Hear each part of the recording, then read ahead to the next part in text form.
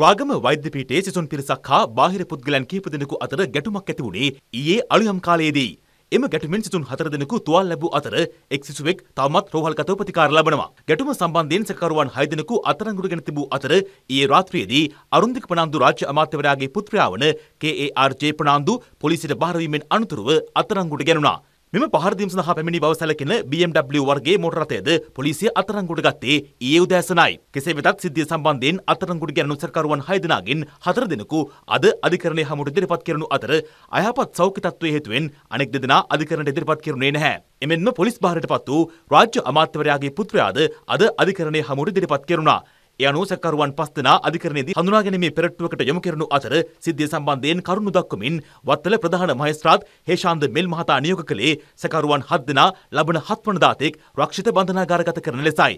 එමෙන්ම අද සන්ධ්‍යාවේදී අදාළ සිද්ධිය සම්බන්ධයෙන් තවත් පුද්ගලයන් තුන් දෙනෙකු රාගම පොලිසිය මගින් අත්අඩංගුවටගෙන අධිකරණය හමුවට ඉදිරිපත් කරනු අතර ඔවුන් එක් අයෙකුට රුපියල් 2000 බැගින් වූ මුදල් ඇපයක් සහ රුපියල් ලක්ෂ 5 බැගින් වූ ශරීර ඇප මත මුදා හැරීමට මහේස්ත්‍රාත්වරයා නියෝග කළා.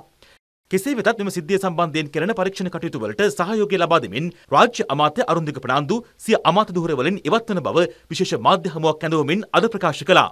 ජනාධිපතිතුමත් එක්ක සාකච්ඡා කරලා මම කිව්වා මේකේ පරීක්ෂණයක් කරන්න මේ පරීක්ෂණ ඉවරනකම් මම මගේ තනතුරු වලින් අයින් වෙන්නම් කියලා. මොකද සමහර වෙලාවට මේ තනතුරු තුල බලපෑමක් කරන්න පුළුවන් බලපෑමක් වෙන්න පුළුවන් කියලා කාට හරි තේරෙන්න පුළුවන්. ඒක නිසා මම කල්පනා කරා අනිවාර්යයෙන්ම මගේ අමාත්‍ය ධූරයෙන් මම අයින් වෙනවයි කියලා. ඉතින් මම හිතනවා ජනාධිපතිතුමා සාධාරණ පරීක්ෂණයක් කරවලා මම වැරදි කාරයෙක් නම් මම මේ අමාත්‍ය ධූරය ආයේ කවදාවත් බාරගන්නේ නැහැ.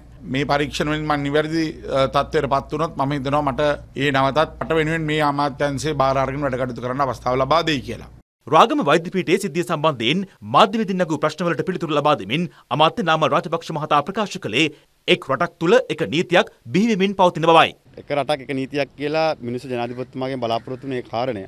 අද ඒක වෙමින් පවතිනවා. ඒ හින්දා මම හිතන්නේ ඒ දරුවා යම්කිසි වැරද්දක් කළා තියෙනවා නම් ඒ වැරද්දට නිසි දඩුවම ලැබෙයි.